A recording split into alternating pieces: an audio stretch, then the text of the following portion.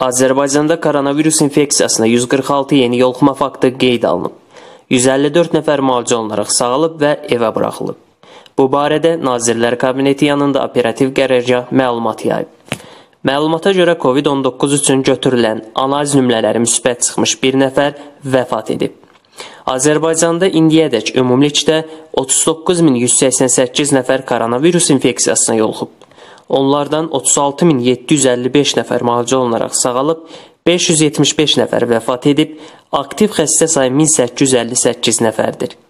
Ölkədə son sutqa ərzində 6886, hazırki dövrədək isə 1 milyon 54 min 792 test aparılıb.